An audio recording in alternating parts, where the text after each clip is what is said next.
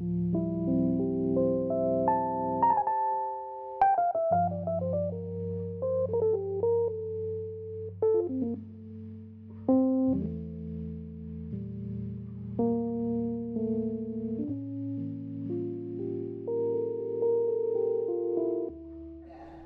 Katrina Jimerson, and I, I teach AP three-dimensional art and AP drawing. And there's also AP design, um, 2D design that's also represented here.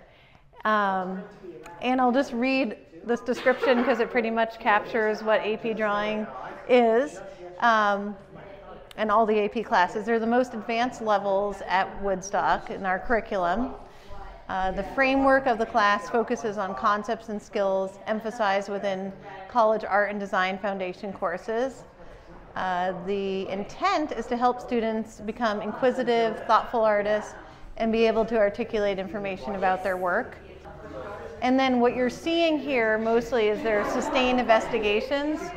So the students focused on an in-depth inquiry-based art and design making question basically, um, which is a skillful synthesis of like materials, processes, and ideas, and then had to articulate um, information about their work. So they formulated questions to guide their work through the year, um, ba mostly based on their own experiences and passions and interests. The class develops higher level thinking, a broad level of technical skills and a range of mediums and styles, art criticism, art history, and aesthetics.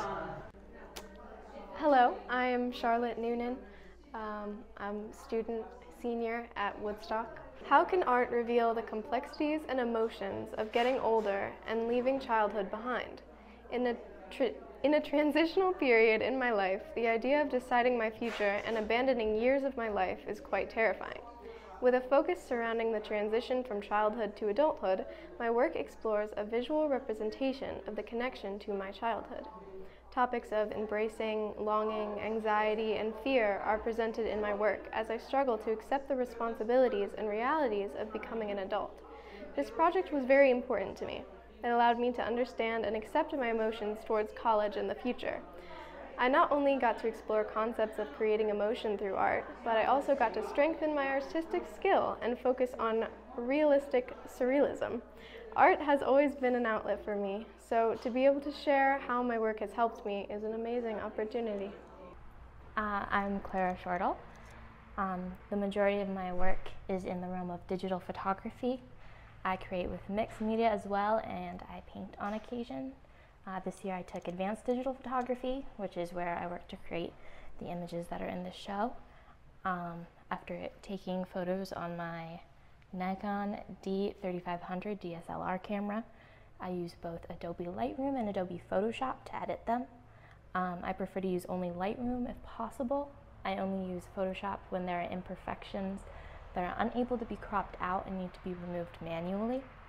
I feel photography allows me to explore the exist existent world creatively in a way I don't feel when I paint or draw. I can take something common or otherwise mundane and bring out the visual intricacies and pigmentations. Um, for me, photography is about bringing out the beauty of life and its objects. Um, so in February, I took a trip to Guadalajara, Mexico with my parents. And while we were there, we toured some museums and some of the government buildings. And I got to learn a lot about the history of Mexico from tour guides and like natives there.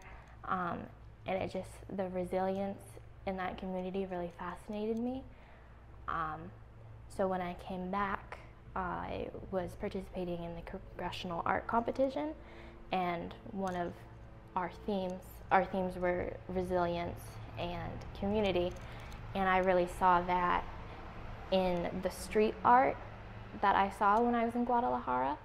Um, so I had all these images of the street art from my trip and I I edited them and then I combined them with some important things in Mexico's history and images.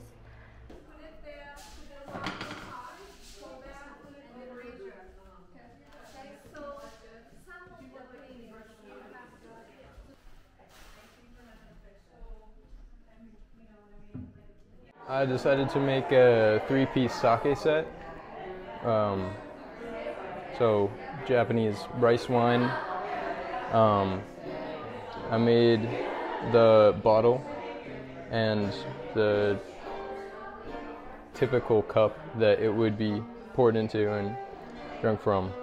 And then this is the more sort of ceremonial type, uh, more un- uncommonly used cup. Yeah, they were they were all made on the wheel. I wanted process I've been trying to work on is burnishing. I would throw them on the wheel and then let them get uh, bone dry and sand them and just kind of go up in grit until it was as smooth as I could get it. And then I would burnish it with a stone and water. Uh, my name is Delia Morgan, and I am an AP art student at Woodstock Union High School. For my sustained investigation, I explored the topic how can I represent my personal connection to Vermont and its rural agricultural lifestyle through art? I have lived in Woodstock my entire life, and growing up, my grandparents raised beef cattle, so I was exposed to agriculture very early on. I am the president of the Hartland Cattle Club, a dairy 4 H club at Cedar Mountain Farm in Hartland, and I have been milking cows at the farm since I was 14. I've been riding horses since I was 8, and I've had my own horse since I started high school. Because of these things, agriculture is an essential part of my identity, and for this investigation, I wanted to explore my connection to the animals, landscapes, and people of my beautiful home state. Many of the pieces here are directly from photos I have taken or that were taken of me on the farm with the animals. Um, I'm Cameron Youngling, um, and uh, okay, so um, my main focus this year um, was my sustained investigation surrounding the central question uh, how can I convey the tone, lyrics, and message of a song visually? Um, over the course of the year, and by that I mean the week before my portfolio was due, um, I discovered that I have uh, something called auditory to visual synesthesia. Um, and synesthesia is when your brain links sensory informations from one sense to another sense. So it can show up in uh, people as like tasting different colors, or in my case, it's seeing things when I listen to sounds, especially music. Um, and I thought this was normal for everyone, but apparently I was wrong. Um, these uh, typically show up for me as like vague ideas, like a color, a light source, or maybe like a setting or a person, but sometimes um, the music gives me a really clear picture, and that's what the majority of my paintings are. Um, and um, I ask that to experience, the, in, experience these pieces fully, um, you can like scan the QR code next to them um, and listen to the song as you look at it. Um, if you're able to. Um, and you don't really need to listen to the full song, just part, because you can hear lyrics that are referenced in the painting and like the general vibe that I was going for like music has always been like a very visual thing for me right? Um, and a lot of the times i find it hard to like verbally explain what i'm seeing. And so to the best of my artistic ability um, i tried to convey what i was seeing in my mind to other people by making it in the form of art. Um, because it can be hard to describe the vividness in which I see it. So, okay, let me actually go with this one because this is probably my favorite one that I did this year. Um, so it's based on the song uh, You're Gonna Go Far by Noah Kahan. Um, and uh, he's one of my favorite artists, and it's um, uh, so I have the um, piece uh, here that's the kind of central focus, and that's because the um, one of the lyrics that is in the song is um, the college kids are getting so young, ain't they? They're correcting all the grammar on the spray paint. So this was the first thing that I kind of thought of. Um, and uh, this is one of my old friends um, and uh, her mother, and I decided to base it off of um, someone going away for college. Um, and so I have a lot of different spray paint around that references different parts of the song. And uh, yeah, this is with uh, watercolor and gouache, which is one of my favorite mediums to work with. I'm Kiara Nestler. I'm a I'm actually a junior uh, but I was put into AP Art just because I've done I'd done advanced art the year prior, so they thought I was ready for it. I looked at several examples of art- artist statements, and they mostly have a personal or emotional meaning behind them. I don't really have that. Honestly, I just wanted to sculpt some animals, and I had the urge to make, you know, art. Um, it is kind of a therapeutic process for me, but it's not like it doesn't have a really deep meaning. Uh, I love making art, especially sculpting. I want people to see my art and think about how wild and different each animal is. Nature is a beautiful thing that we need to appreciate more. And throughout my art, I have developed my style and more of an understanding of how to use certain mediums. I mostly sculpt in clay, which gives me the most malleability to form and com- the complex structures of an animal. While I sculpted each of my pieces, I realized how much I like animals and their similarities and differences. And a lot of the main shapes of animals are fairly similar, which I found really interesting because while I was sculpting, I just I learned a lot about like the anatomy of animals. Um, but the little details and textures gave me a really nice challenge. Um, and I don't want this to be too long, as I'd personally rather be looking at art than reading a statement. I get bored reading these and only read the first couple sentences typically. Just, I don't know, I'd rather be looking at the art. So, yeah.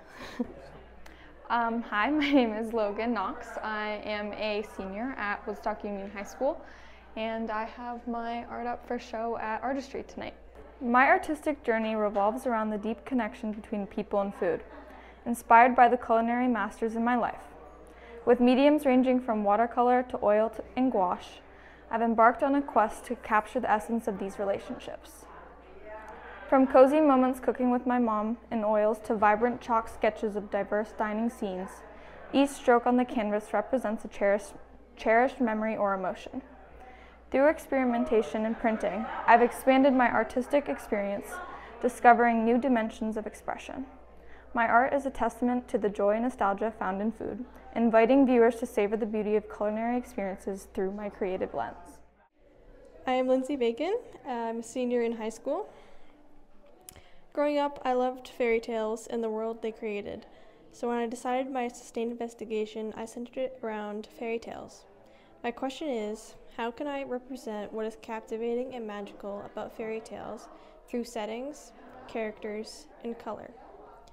I started by looking through old fairy tales like The Six Swans, Snow White and Rose Red, The Golden Bird, The Prince and the Dragon, and The Twelve Dancing Princesses. In all my works, I thought thoroughly on setting and composition. The placement of characters, trees, and hills are always important. In my Golden Bird workpiece, the onlooker's eye is meant to travel around in a circle through the art. The large moon, branches of the tree, and feathers of the bird's tail were all curved around the center. Composition was difficult in my Snow White and Rose Red workpiece because both girls each have a tree that curtains each side of the edge of the canvas, like a veil being pulled before, back before a show. It made sense to have the girls apart standing in front of their trees, but I thought they should be together, holding hands to symbolize their closeness as sisters. I experimented with the idea in my sketchbook and decided to go with holding the hands off to the side. In the 12 Dancing Princesses art piece, the small orbs of light direct the path the eye is supposed to follow.